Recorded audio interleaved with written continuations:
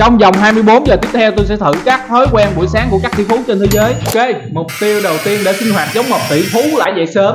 Và theo như tôi nghiên cứu thì các tỷ phú thường thường dậy lúc 5 giờ sáng. Nên là bây giờ tôi sẽ ráng đi ngủ sớm để dậy sớm giống như một tỷ phú. Bây giờ là đã hơn 10 giờ tối rồi và đây sẽ là chỗ ngủ của tôi tối nay. Trước khi đi ngủ thì tôi sẽ đi ăn cơm trước rồi sau đó đánh răng súc miệng. Rồi buổi tối chuẩn bị lên giường và ngủ. Trong lúc mẹ tôi đang ăn thì tôi sẽ nhờ bà ấy sáng 5 giờ sáng kêu tôi dậy.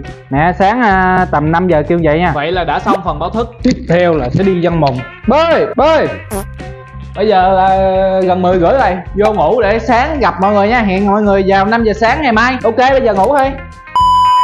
Lúc này đã là 5 giờ sáng rồi mà tôi vẫn còn ngủ nên tôi đã chuẩn bị phương pháp dự phòng vào tối hôm qua.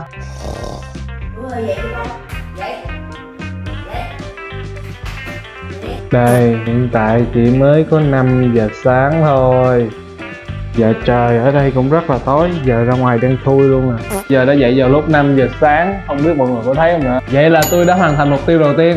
Thức dậy sớm như một tỷ phú. Tiếp theo là tôi sẽ dọn dẹp giường ngủ và đi sinh hoạt đánh răng súc miệng. Ờ, cũng không thể thiếu đi ờ, cầu được. Thoải mái quá. Tiếp theo không được xài điện thoại vào buổi sáng. Nên là Mục tiêu tiếp theo là uống một cốc nước ấm. Do là nhà không có sẵn nước ấm nên tôi phải à, bắt một nồi nước và nấu nó Sau một lúc thì tôi đã có một nồi nước sôi nhưng mà nó vẫn còn quá nóng. Bây giờ tôi chỉ cần ngồi và chờ đợi cho nó nguội và uống thôi. Trong lúc uống thì điều này đã xảy ra. Chán thiệt em phỏng lưỡi. Tôi bắt đầu uống lại. Vậy là đã hoàn thành mục tiêu thứ tư. Uống một cốc nước ống một. Ra là mục tiêu thứ ba chứ. Không biết vì lý do gì mà tôi khá là bớt vào buổi sáng. Sau đó tôi lại pha thêm một ly ca cao để uống cho tỉnh ngủ. Quên mất là đã hết sữa đặc rồi bây giờ tới đường đỡ vậy good. Uống một hớp là tỉnh cả người. Tiếp theo là tập thể dục vào buổi sáng. Ở nhà sơ sơ tay gai như vậy là thế này cũng được. Nhưng mà phải tập 30 phút. Sẵn có tạ ở nhà nên tôi sẽ tập bằng tạ này luôn. Trước tiên là phải khởi động tay chân trước. Sau khi tập 15 phút rồi. Nặng chết chưa ạ. Sau 30 phút tập bài tập này thì à, tiếp theo là sẽ ngồi thiền 10 phút nha mọi người. Tôi chưa có tìm hiểu gì về ngồi thiền nên là bây giờ tôi sẽ tìm hiểu coi cách để ngồi thiền. Chỉnh thư ghế lưng đầu cột sống giữ thẳng. Phải đặt uh, đó giờ 10 phút chứ. 10 phút bắt đầu.